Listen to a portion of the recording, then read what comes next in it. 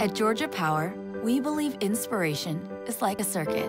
When it lights up young minds, it comes full circle.